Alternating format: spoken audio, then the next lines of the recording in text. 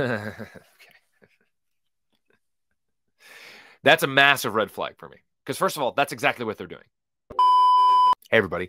Welcome to Contra Thoughts. My name is Richard, and we're talking about He Gets Us and why it's good and why it's bad. Coming up next.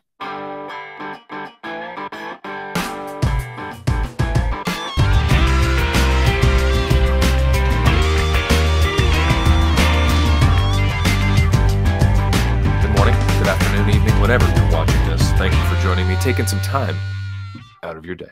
I appreciate it. I really do. Um, I usually do these shows for those who are new uh, on Fridays, and uh, this type of kind of cultural commentary regarding church, denominations, culture, society, sometimes government, politics stuff. Though I don't do as much of that, uh, not because I don't have opinions. I just I just don't focus on that. We're going to be talking about He Gets Us. This is something that we see so often. We see the 100 million plus dollars, hundreds of millions of views, Super Bowl ads, the bright colors, the black and white imagery, the yellow, the black, the very, the very stark contrast. I love their marketing. I have a background in graphic design uh, and restaurants, both, uh, two different things, but nevertheless, I did marketing and design stuff off and on in different capacities for churches, ministries, worked for a motorcycle like extreme sports uh, company for a while. I've done many websites and business cards, letterhead, all sorts of things. And he gets us top notch, A plus. It's like the chosen with a TV show. It's very, very good quality. Uh, the costumes are great. The cinematography is great. Acting's great. The message. But I've done some stuff on the chosen. If you want, you can check out some things up here he gets us though is on first you think wow this is great. This is great. So let's just look at it because just so we're all on the same page and why i think there's good parts those are some of the good parts right off the bat. Uh, the marketing is phenomenal. And you might be thinking well so you don't so you like the marketing of jesus? That's just bad. What about the second commandment? What about this? What about this? Well we're not going to talk about the second commandment here but that's not what this is at all. Um, you have a bulletin a church website, a little, you know, turn and burn sign outside or, you know, Jesus loves you or a little pin that says that or a shirt, Jesus is my homeboy. Ask me about Jesus. You're reading your Bible. That's all marketing. So marketing is not my problem. Marketing is not why this is bad.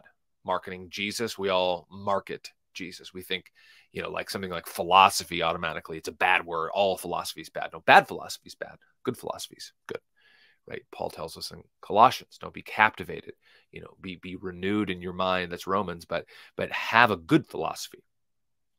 Black, got a guy here, black guy. Not the same thing I'm talking about, but you know what I mean. Black and white imagery, really good. Simple, he gets us. Now the focus there right off the bat also is us. Oh, it's us. Interesting. So it's not he. Why is the yellow on us and not he? Is this about Jesus or is it about us? He gets us, has an agenda. Jesus didn't want us to act like adults. Uh, uh, okay. I mean, yeah, sure. Jesus loved the people we hate. Is that Elizabeth Warren? It looks like Elizabeth Warren, senator from Massachusetts. Be childlike, love your enemies, all love. Articles. Jesus didn't want us to act like adults. We're not going to look at any of these things. You can. He gets us.com. Obviously. That happens. You curious about that. You want that. You want to see that. You want to see hatred for Christ. Go to Ethiopia uh, or Nigeria, rather. Ethiopia, some, but Nigeria, especially. Nigeria is huge. It's like half Muslim, half Christian. And there's constant wars. I mean, like Christians die there every day. Christians. Muslims, no doubt, probably die too, but they're probably dying in jihad. But for us to have this kind of weird, twisted, like Americanized version of like persecution and problems, oh, this is so bad. It, the world and history are so much different than the last 200 years or so of our culture and our context. Yes, it's bad now. I get it. It's very bad. Uh, there's much division. There's, you know, black and white, left and right, this and that, all this, you know, Christian, non Christian, as if Christians are the ones causing the problems. No, it's the godless pagans that cause the problems.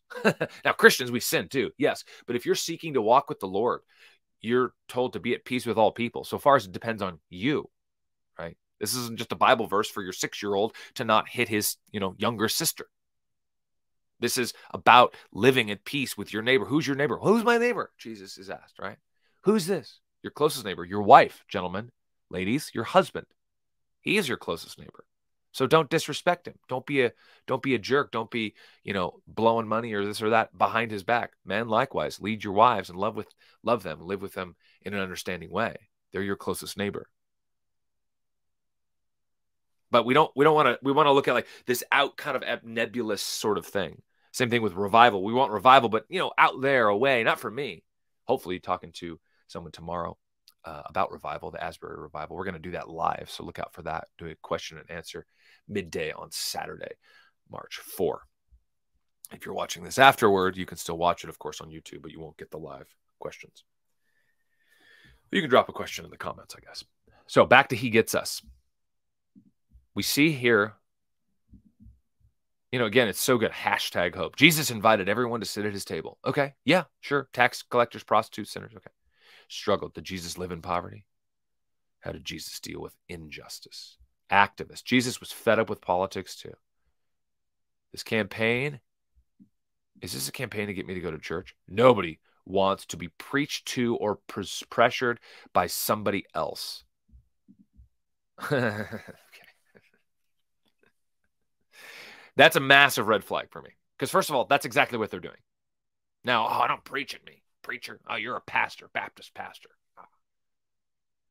I don't care. That doesn't matter. I, uh, the world and the gospel, everything will still go on when I'm long gone. Okay. My children are long gone. My grandchildren are long gone. If the Lord tarries, right? Which he will, probably. but anyway. I don't know, we preached at. Nobody wants to be told what to do. You're telling me what to do right here. You're telling me these things. You're telling me these things about Jesus and this and this and this, and you're not anchoring them in any Bible. But let's just let's just be clear. Let's make me a little smaller here. Let's look at this. Uh, how about Jesus was fed up with politics too? Let's read this. Let's see how much. So there's a guy here, American flag. I don't know what this is. This guy on the left, the right. What's he preaching? I don't know. Politics. Jesus was born in the height of the Roman Empire's power. They conquered most of the known world. Israel was no exception. Unlike previous empires that would try to destroy culture by displacing Romans didn't force people to change their religion or customs as long as they kept their obligations. Correct. Okay, so they have scripture references. That's a plus. I was not expecting scripture references, to be totally honest. Yeah, so Judas was a zealot, but not Judas Iscariot. Oh, wow. Let me look read this closer though. In the end, it took all three of these groups to have him killed. A zealot, Judas, betrayed his location to those seeking to arrest him. The Sadducees brought him up before the Romans to be executed. Okay, so right off the bat, let's go ahead and correct that, unless my memory is wrong.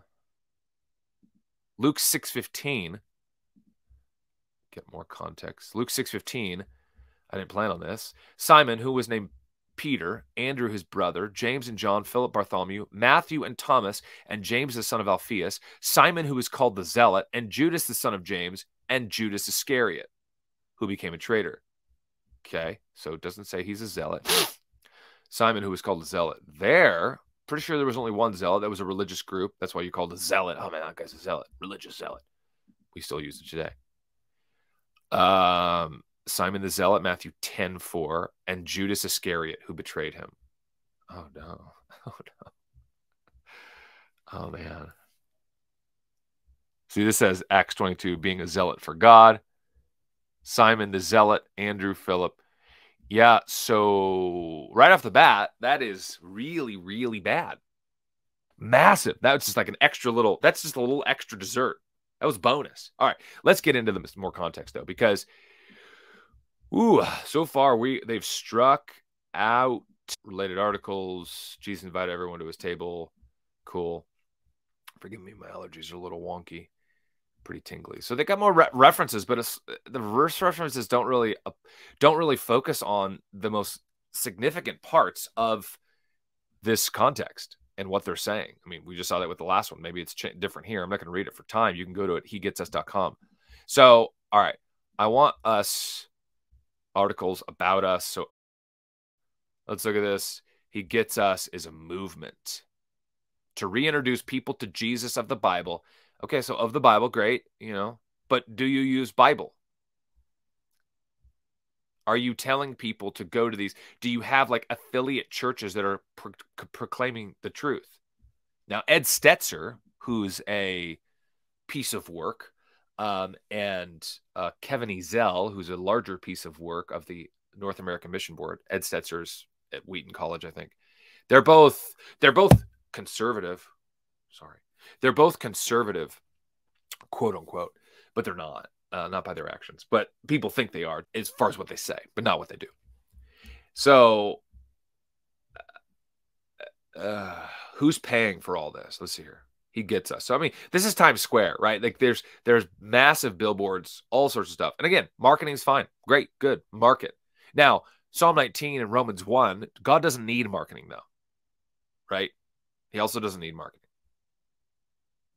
We get it. This is unique effort funding for He Gets Us comes from a diverse group of individuals, entities with a common goal. Most of the people driving He Gets Us, including our donors, chose to remain anonymous. That's always kind of weird. Uh, story isn't about them. Yeah. Okay. The people pouring out their time, energy, et cetera, et cetera. So it, that's just vague. That's kind of like the Watchtower Society.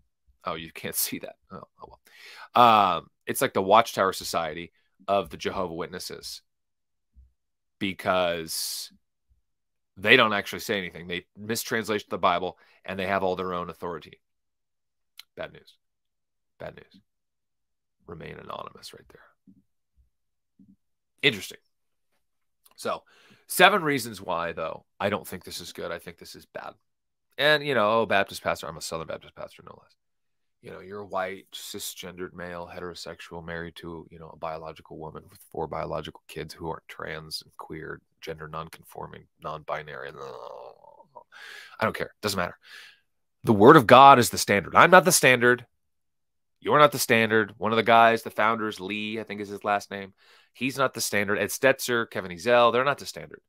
Bad atrocities made by Christians in the past aren't the standard good things Constantine, George Washington, Jonathan Edwards, Martin Luther King Jr., R.C. Sproul, John MacArthur, whatever. These guys aren't the standard either. Christ is the standard. Jesus is the standard. So we'll look at some of these videos as I get closer. So I want us to look at, though, more detail, right? So we looked at the website. So, number one, number one, he gets us is is is seen as overall so it's focused on us not he but us. It's all about us. Now god did send jesus into the world right? We live in the world. Some people say well the gospel you have a man-centered gospel. Well in one sense the gospel is man-centered right? Christ is sa- saving man mankind right? Not himself. He doesn't need saving. So in one sense it is. Now i understand what they're trying to get at when they say that but sometimes it's a little silly because you can take it and turn it on its head and that doesn't really help your argument if an argument can be turned over so easily. But his full identity is really kind of vague, right? This is more kind of the leftist, progressive, liberal Christian view of Jesus and not something else. It's not enough for Jesus to understand us, quote unquote, as a great moral teacher, right? Gandhi, Buddha, Joseph Smith, MLK all could have done this too, right? I hope you're saying right. So that's number one. It, it's not enough for him to just get us. Okay, to get oh Jesus understands. Well, if Jesus isn't God, who really cares? Number two, red letter Christianity is is is in full force. Now we don't use that term as much. I'm writing a book. I've been writing it for a couple years now. I need to do it. Somebody encourage me in the comments, please. Tell me to write my book. Um, about you know, I, I don't focus on Paul I focus on Jesus, Jesus's words. So there's this Peter and Paul, uh, Paul and Jesus, and there's this conflict. Remember, Jesus didn't write any of the Bible. Paul, Peter, John, James, Jude, Luke, uh, Mark, Matthew. They wrote the Bible, New Testament. Well, again, number two, doesn't matter if Jesus was ever lonely.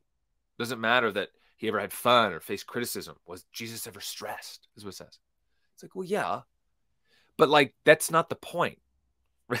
like MLK was probably those things. Thomas Jefferson, George Washington, Joseph Smith, Buddha, Gandhi, Genghis Khan, Mao Zedong, right? Like bad, good, evil, righteous, whatever. Like, so what? These are just men. And if Jesus is just a man, well, you know, eat, drink for you tomorrow, you die. Doesn't matter. He's not just our example, though. He is an example, but he's not just our example. He is man, but he's not just man. And that's the thing. A lot of fundamentalists, you know, conservative Bible believing Christian, whatever you want to call us, oh, God, Jesus is God, God, God, God. And we're like, yeah, but he was man. And then other people on the left are like, oh, Jesus was man. He's man, man, man. Eh, maybe he was God. Yeah, it's probably God, I guess. But I don't know. You know, he's both, 100% both. That's the hypostatic union is the fancy word for it. And it's been taught and believed for literally thousands of years. It's not new. Number three. Number three. This is a classic Jesus versus God's word scenario. One of the founders of He Gets Us. Our goal is to give a voice to the pent up energy of like minded Jesus followers those who are in the pews and those who aren't, who are ready to proclaim the name of Jesus from those who abuse it to judge, harm, and divide. Happens all the time, right? All the time. Ah, you're just bad. You're just bad Christians. You're bad Christians. I'm a good Christian because I don't go to church. I don't give money to the local church or to uh, pregnancy centers or to international missions or you know sharing the gospel, preaching praying for people, sharing gospel tracts, having Bible studies in my house. I don't do any of that stuff. Ah. But I'm a good Christian because I don't go to church and I don't do anything Christians are supposed to do. What? like, obviously, that doesn't work. But this is what progressive Christianity does. As if Jesus did not imbibe the Old Testament and preach it, the law and preach it, right? Isaiah, he opens, he quotes Deuteronomy, he quotes the Psalms. He's affirming their Bible, which is the Old Testament scriptures. So we can't unhitch it. Sorry, Drew, Andy, old Andy Stan, and many others. This is not against Jesus. Yes, sweetheart. But many in this culture and movements like this see biblical Christians as the problem and they see Jesus detached from the Bible and the church as if, you know, Jesus is this, this amorphous thing kind of out there, you know, the the spirit of Jesus or this and that's that's a belief, which we won't get into, but that's a belief that people have that aren't Christian, but that's the Christ spirit, the Christ divinity, the God, whatever, you know, coming upon the man Jesus. We can have that spirit too, blah, blah, blah. But God's word is within the pages of the word of God, right? The Bible. Jesus is within the page. How else are we going to know Christ most effectively, most specifically? Could he reveal himself? Sure. People claim that all the time. Is that happening? I don't think so. Sure, could it? Yes, it could. But does it? No, usually it doesn't seem to be because it's not comporting with what happens in Scripture. So they want to take back from Jesus and the followers. For what? How did we do that? What are we doing? What is it so bad? Like, yeah, you quoted some Bible verses, but you're not saying we know Christ from the scriptures. We see this time and time again. 1 Corinthians 15. Jesus died according to the scriptures. He was raised according to the scriptures. If he's not resurrected, we are still dead in our trespasses and sins. We are of all people most to be pitied. That's not the only place that that's mentioned, but it's countless places about the resurrection. By his wounds, we are healed. By his stripes, the KJV says. Not his life, not his good teaching. Okay? Sorry, liberal Christian. Number three, progressive Christians. You guys are wrong, wrong, wrong, wrong, wrong. You're wrong. It's not just Jesus' example. Example. Yes, example is great, but he also flipped over tables. He also called people dogs and foxes, which fox is not, you know, a sexual term. It's another version of dog. Cling to me, come to me. All you are weary and heavy laden, I will give you rest. It's not come wherever and just do whatever and do what ah. No, come to Christ. That's very exclusive. They want some fictional Jesus that didn't exist, palatable Jesus that everyone can love without having to change their life and confess their sin. Give up their money, give up their time. Number four, but they leave out a lot of other things. So they like a lot of the stuff, but they leave out other stuff they don't like. As if Jesus was some sort of hippie walking around with long hair, you know, tie dye robe, peace and love, bro, hacky sack, maybe some Birkenstocks. You know, just, you know, just, just, you know, Jesus was fed up. I'm fed up with politics too, guys. I'm an, I'm a refugee too, bro. Just chill, bro. Bro, bro. bro. It's all right, bro. No. If you read any of the Gospels for any length of time, more than a page, you're going to see this. And certainly the Acts of the Apostles, or Acts of the Holy Spirit, if you prefer, Acts, right? The establishment of the church. We see Jesus at the beginning of it ascending. Like good moral teachers don't descend, they don't raise from the dead. They don't heal people. They don't walk on water. They don't raise people from the dead. They themselves don't raise from the dead. The leftist idea that he gets us, they don't really show Jesus in his true light, as if he never tells people to sin no more, goes and does miracles, walking on water, right? Raising people, turning water into wine, calling people to repentance, calling people to himself. They say Jesus welcomed everyone at his table. Okay, yeah, prostitutes, the derelict, sinners, tax collectors, absolutely. But did he say sit there and do no more? Or, or continue rather to do what they're doing? No, not at all. He redeemed their life, changed their life. Number five. It goes on. Jesus was fed up with politics too. I've already said this. Jesus lived in the middle of a culture war, it says. And through political systems, though they were different, the greed, the hypocrisy, the oppression of different groups used to get their way were very similar. End quote. Yeah, I mean, but that's not the point, right? That's not the point at all. I mean, if you read the Bible, you're going to see, especially the New Testament, especially the Gospels, mm. that is a factor, but that's not the primary thrust, whatever. Jesus did not come to overthrow Rome. Now, he did overthrow Rome, and now he is seated at the right hand of the majesty on high. And Rome is no more, and we're still worshiping Christ. We're not worshiping, you know, Augustus Caesar or Julius Caesar or Caligula or um, what's the guy during I can't remember his name. The guy during Acts that I'm going through I'm preaching through Acts 18 right now. We're not worshiping those guys. Those guys are long dead because they're just men. Jesus is a man. He's also God. Jesus is God. He's also a man? Because he knows Adam and Eve. He knows the judgment. They don't talk about Adam and Eve. They don't talk about the curse. They don't talk about the fall. They don't talk about global judgment and a flood. They don't talk about any of this stuff. Not that I saw. No, it's not been exhaustive, but the stuff that I have seen has not hinted at it at all. Sure, there's a few Bible verses here and there, but it's all very menial, vanilla, mild, not offensive at all. John 8, 11. No one, sir, she says, neither do I condemn you. Jesus declared, Go and leave your life of sin. End quote. So, Jesus, that's the, of course, woman caught in adultery. He saves us would be far better than he gets us. He saves us. He saves us.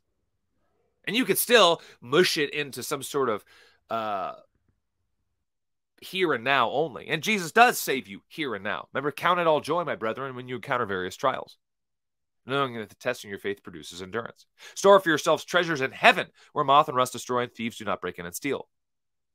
Because stuff here passes away. It broken, it rots, it dies.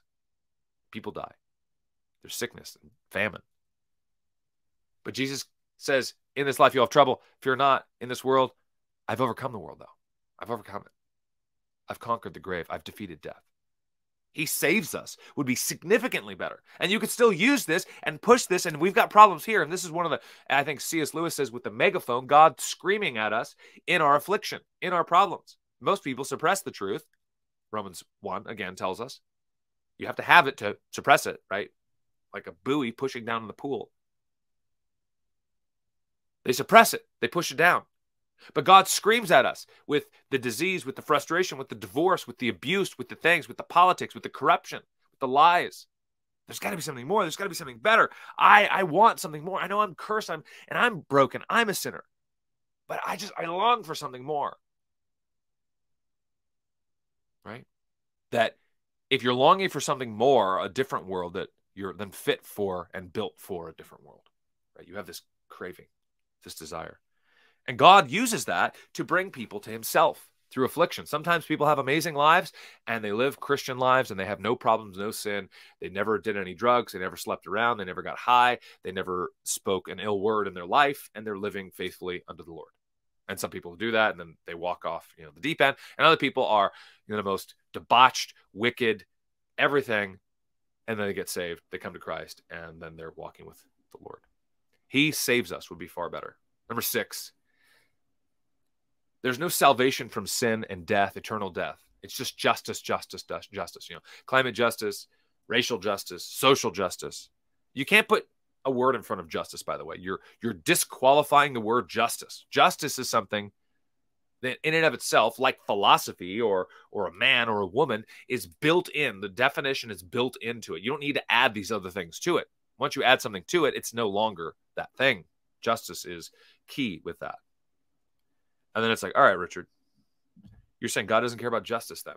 You're God, God doesn't care about us. He just wants us for heaven, right? Oh, just heaven. Just, you know, focused on heaven, you're no earthly good. No, if you're focused on heaven, you're very much earthly good because you want to proclaim the truth. You want to live unto the Lord. You want to use the time He's given you. And I'm telling you, Christian, build. Now is the time to build. Now is the time to start businesses, plant churches, have a better family life, do family worship, memorize scripture, proclaim the truth, share the gospel, pray with people. Now is the time to build. Get to a place where you can do that. Probably not in a massive city. I've done conversations with that recently on that. It can be done in a city. Don't get me wrong. But God cares about this life. He does care about this world. Jesus added humanity to himself, right? But he was already pre existent. And this is the difference. They see Jesus, it seems, as just this guy that lived roughly 2,000 years ago, not the pre incarnate Son of God, not the second person of the triune Godhead, not the God, not the Word made flesh who dwelt among us, as John tells us. Big difference. Psalm 99, verse 1 The Lord reigns, let the peoples tremble. He sits enthroned upon the cherubim. Let the earth quake. The Lord is great in Zion. He is exalted over all the peoples. Let the people, let them praise your great and awesome name. Holy is He. Holy is He. Not us. He. He. He gets us. No, if anything, it should be focused on he. the yellow should be highlighting he, not us. The king, in his might, loves justice. You have established equity. You have executed justice and righteousness in Jacob. Jacob, they're just a synonym for Israel, God's chosen people. Elect, excuse me, elect. Although, chosen people, you know what I mean. Exalt, rather, verse 5 of 99. The Lord our God and worship at his footstool. Holy is he. Campaign is not about going to local church. It says that, I right? We read that. Oh, there's a time to get, get you to go to church. We don't go to church. I don't want to go to church. You know, whether you love Jesus or hate Jesus, you know, we can all agree Jesus was a great guy. You know, we can't all agree on that. And so, what if he was a great guy? Gandhi was probably a pretty great guy. MLK did some great stuff, right? Thomas Jefferson, Joseph Smith. Uh, Founder of Mormonism? Probably not. Buddha? I don't know. So what? So what if Jesus was a great guy? If he wasn't who he said he was, you've said it yourself, right? Are you the king of the Jews? He's asked. People say, oh, Jesus never said he was God. Yes, he did. Multiple different times. You just have to know the context. Before Abraham was, I am. It's the same in same words there in Exodus 3, where Moses is there at the burning bush he says, Tell them I am sent you. Jesus quotes that same verse. Jesus is not a social justice warrior. I'm sorry. He's not. He cared about justice. Yes, that's why he died for sin. That's why he died for those who would come to him. That's why he died for the sins of the world. It all says that, right? Don't get all hung up on one verse or another. Get the whole Bible but we have this vague similar kind of mushy idea of like you know you know it, it, it's like a revisionist sort of history the further issue i have with he gets us is the vagueness of it. Okay this leaves jesus kind of just in this amorphous state as i said a moment ago. He's just kind of this moral teacher just floating three five inches off the ground touching people. Hey bro just peace and love bro. Peace and love. Got a hacky sack maybe a little frisbee golf doing a little thing disc golf. Maybe just you know just just just pal around with the buds, knock back a couple of brewskis.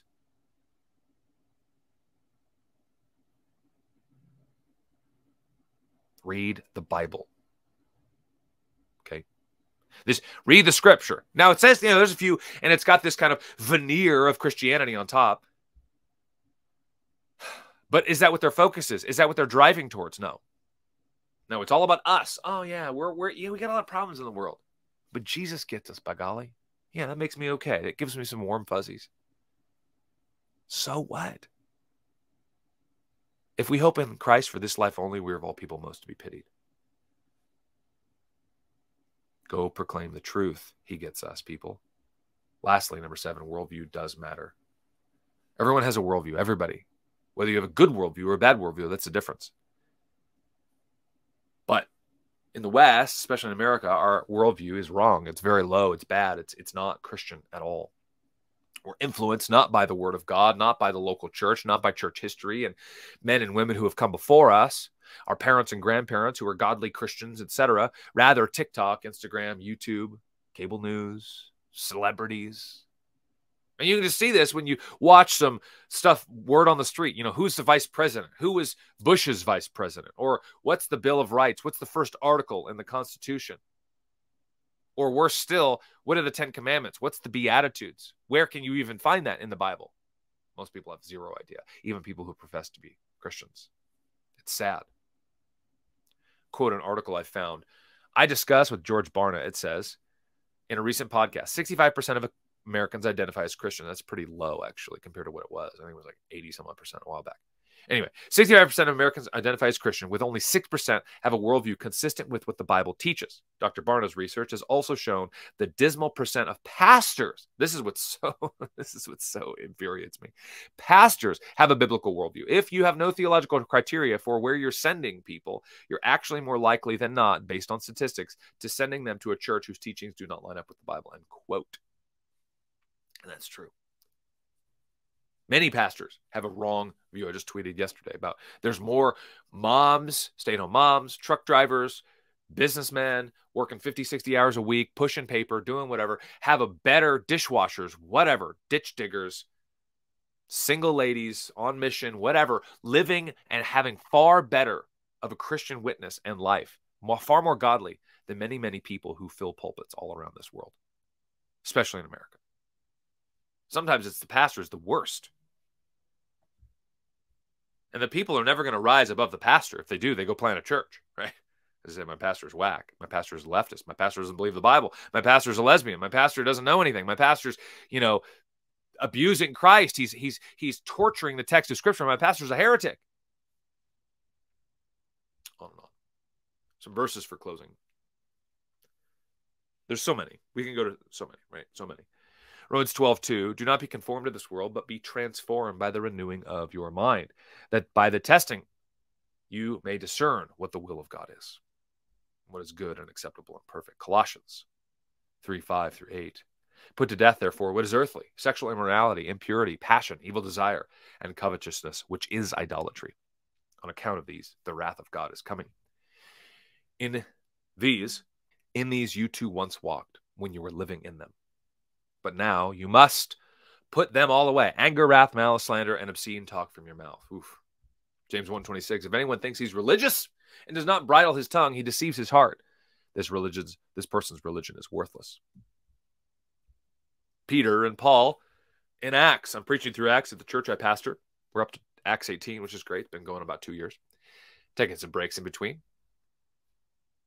They never compromised the message. Repent and believe the gospel. Turn to Christ. This Jesus, whom you crucified, Peter tells them. Paul says, the man he is appointed tells everyone everywhere to repent. Acts 17. That's Acts 2. That's Acts 17. Many people believe. Many people don't. Many people cause a riot. Many people have a hissy fit, right? But many people do believe. Some question, some doubt, some hate it, and some embrace it. Compromising is never going to get your message anywhere because you're compromising, you're already tainted like a you know perfect five gallon thing of water, and you just you know put a couple ounces of gasoline in, just a couple ounces. Right? You got you got whatever gallons of water, and you just put a few ounces of gasoline in. Ah, it's not a big deal. Just just drink around it. No, you've compromised. It's done. The whole thing is ruined. Ten gallons, twenty gallons. You don't want a little gasoline in your water. All that's just a couple ounces of gasoline. What's the big deal? Acts 13 being good news that God promised to the fathers, this he has fulfilled in us, their children, by raising Jesus, not his example, but by raising Jesus. Also, it is written in the second psalm, You are my son, today I have begotten you. And for the fact that he raised him from the dead, no more to return to corruption, he has spoken in this way. Quoting also the Psalms, I will give to you a holy and sure blessings of David. Therefore, he says in another psalm, You will not let your Holy One see corruption. For David, after he had served the purpose of God in his own generation, fell asleep and was laid with the fathers and saw corruption. So it's not talking about David ultimately, right? It's talking about Christ, even in the Psalms. But he whom God raised up did not see corruption. Let it be known to you, therefore, brothers. He gets us. You could do this with your hundred plus million dollar ad campaign. Let it be known. Go back to the Bible. This, through this man, forgiveness of sins is proclaimed to you. And by everyone who believes is freed from everything which you cannot be freed from by the law of Moses. That's really good news. Very good news. Look, you scoffers, be astonished and perish, for I, doing a work in your days, a work that you will not believe, even if one tells you. End quote.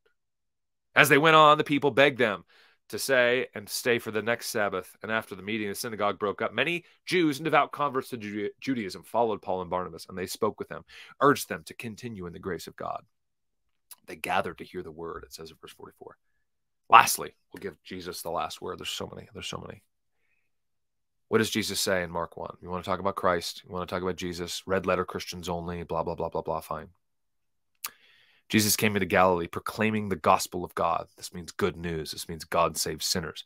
There's something, there's a problem. God has the solution. Saying, the time is fulfilled, meaning it's anticipating, right? Jesus says, the time is fulfilled.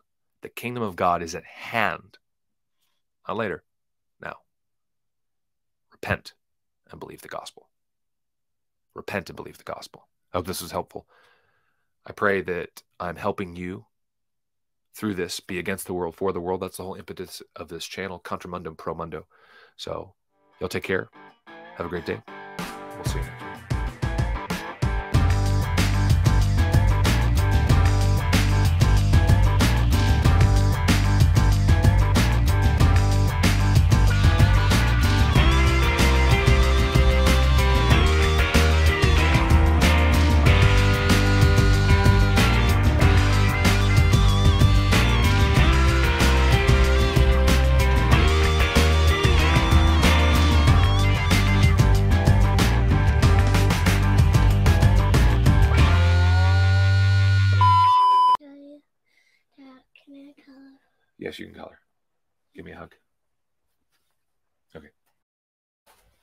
Please shut that door. All right. Yes, son.